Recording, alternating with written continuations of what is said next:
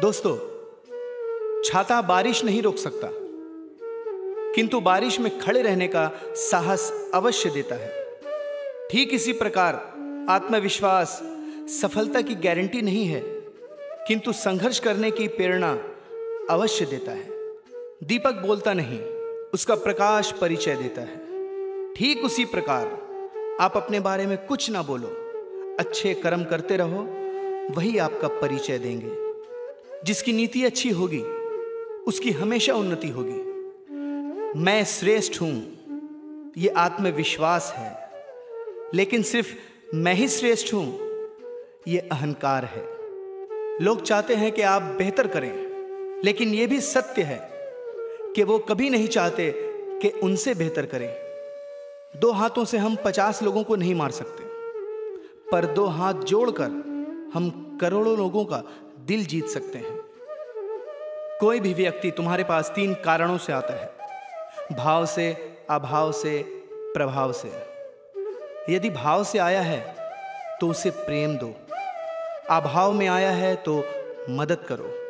और यदि प्रभाव में आया है तो प्रसन्न हो जाओ कि परमात्मा ने तुम्हें इतनी क्षमता दी है। नेत्र केवल दृष्टि प्रदान करते हैं, परंतु हम कहाँ क्या देखते हैं? यह हमारे मन की भावना पर निर्भर है। मन का खोट कुएँ के पानी की तरह होता है। जितना भी निकाल लो, खत्म नहीं होता।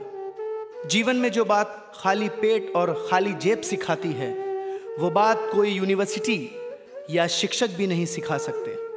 कभी किसी को खुश करने का मौका मिले तो छोड़ना मत है दोस्त। बड़े नसीब वाले होते हैं जो किसी के चेहरे पर मुस्कुराहट दे पाते हैं। कितना अजीब है ना? चौरासी लाख जीवों में एक मानव ही धन कमाता है।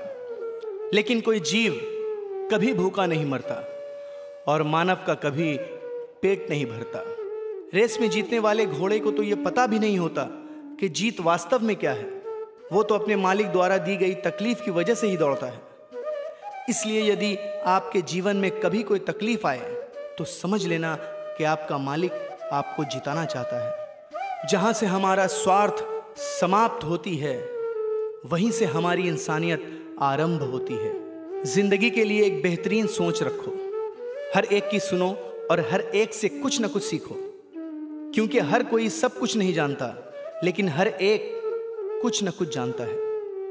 रिश्तों की सिलाई अगर भावनाओं से हुई है तो टूटना मुश्किल है। और अगर स्वार्थ से हुई है तो टिकना मुश्किल है। अगर लोग आपकी अच्छाई को आपकी कमज़ोरी समझने लगते हैं तो ये उनकी समस्या है, आपकी नहीं। आप आईना हो, आईना बने रहो। फ़िक्र वो करें जिनकी शक्लें खराब हैं। श्रद्धा जान देती है, नम्रता मान देती है और योग्यता स्थान देती है। पर तीनों मिल जाए तो व्यक्ति को हर जगह सम्मान देती है।